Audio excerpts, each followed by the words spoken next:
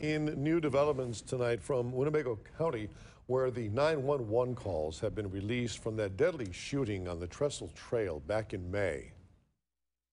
Winnebago 911.